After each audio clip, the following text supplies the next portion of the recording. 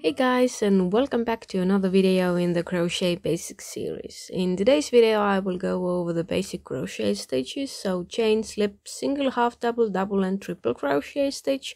I'll show you how to do them and what they look like and I'll also talk a little about how the crochet terms differ in the US and UK. I always use US crochet terms, but when following a pattern you'll want to make sure which terms are used because stitches do have different names in the UK and US. And to make things even more complicated, they sometimes use the same terms for completely different stitches. Grab some yarn and a crochet hook and follow along, there's no better way to learn. You want to make sure your hook size matches the yarn you use, there's usually a suggestion on the yarn label. When you start crocheting, you need to have the first loop on the hook, and to get that, we're going to make a slip knot. To do that, we're going to take our yarn and wrap it around the fingers so the working yarn goes over the yarn tail. You can grab this joint between your finger and thumb and have the working yarn behind the loop you just made. You can now take your crochet hook and go through this loop and grab the yarn and pull up a little loop just like that. Now you can take both the yarn tails and pull until it's not here. It's tightly closed. You'll usually end up with a loop that's a bit too big. To adjust it, just grab the working yarn and pull until this loop is just big enough. And now we can start with our chain stitches. We're gonna yarn over, which means the working yarn will go behind and over the hook. And then we can pull it through the loop on the hook. So we're gonna wrap the yarn over the hook and pull through yarn over? And pull through. Yarn over? And pull through. And here we have it our chain stitches it's a very simple but a very versatile stitch that is used in many many patterns. Next is the slip stitch we're gonna go into the stitch yarn over and pull up a loop. And then we're gonna pull the same loop through the loop on the hook so we're gonna go into the next stitch. Yarn over pull up a loop and then pull through the loop on the hook. Get into the stitch yarn over pull up a loop and pull that loop through the loop on the hook. Show you one more time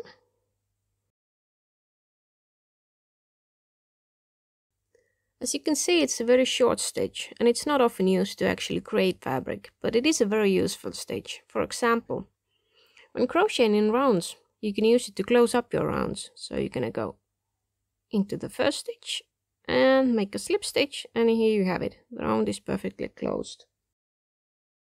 Also, it creates really cool effects when used in combination with other stitches. This ribbing here was created by crocheting back and forth alternating rows of single crochet stitches and slip stitches.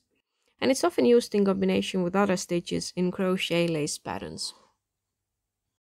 Next up is the single crochet stitch, which is called the double crochet stitch in the UK.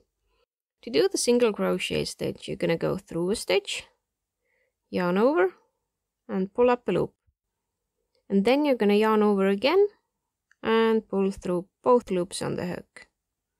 So go into the stitch yarn over and pull up a loop yarn over and pull through both loops on the hook. So you go into the next stitch pull up a loop yarn over and pull through both loops on the hook. And I'll show you one more time and pull through both loops on the hook. This is a slightly taller, kind of a square stitch, and being someone who primarily makes toys, this is the stitch I use most often. This teddy here is crocheted with single crochet stitches, and as you can see here, it creates this nice tight fabric that doesn't let the stuffing show through.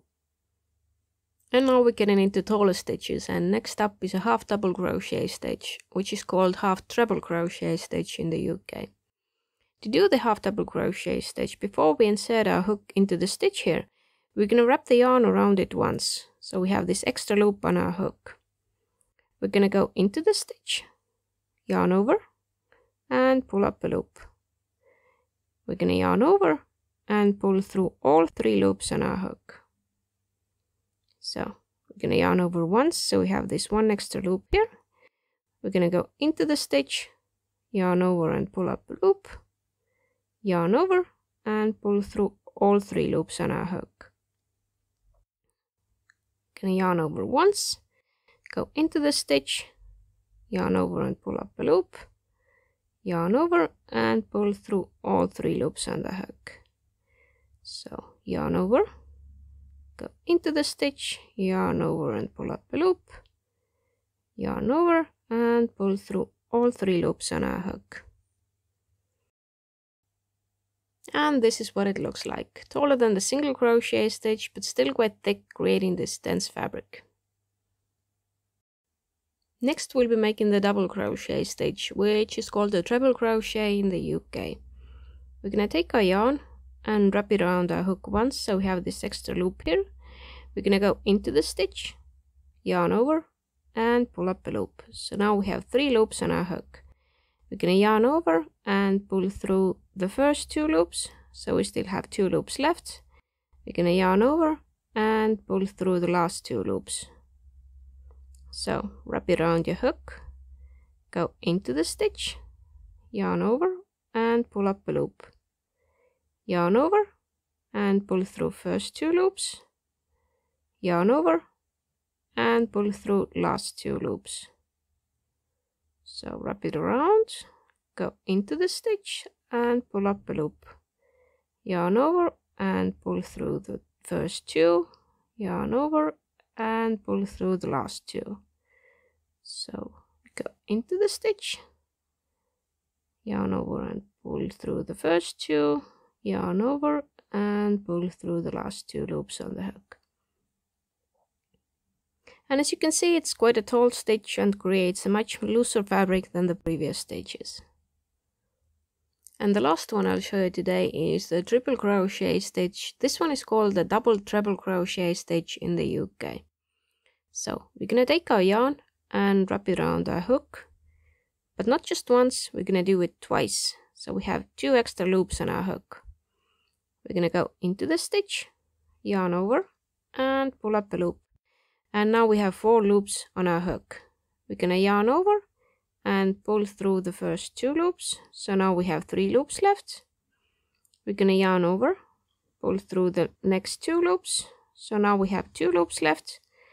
And then we're gonna yarn over and pull through the last two loops. So we're gonna wrap it around the hook twice. So we have two extra loops. We're gonna go into the stitch and pull up a loop. Gonna yarn over and pull through the first two loops. So now we have three left. Yarn over pull through the next two. So we have two left. Yarn over and pull through the last two loops on our hook. So wrap it around twice. Go into the stitch. Yarn over and pull up a loop. Yarn over and pull through first two yarn over and pull through the next two yarn over and pull through the last two. And that's what the triple crochet stitch looks like. It's the tallest of the ones I showed you today. In theory, you could make even taller stitches by wrapping the yarn around your hook three, four, five times, but these stitches aren't used very often. Even the most complicated patterns are usually a combination of these basic stitches. Sometimes they also use other techniques. For example, there are different ways you can insert your hook into or around the stitch. I will link to these videos in the description. If you like this video, make sure to subscribe and hit thumbs up or thumbs down if you didn't. If you like what I do and want to support me, check out my pattern and toy stores. I will leave a link in the description box below. Thanks for watching and I'll see you in the next one.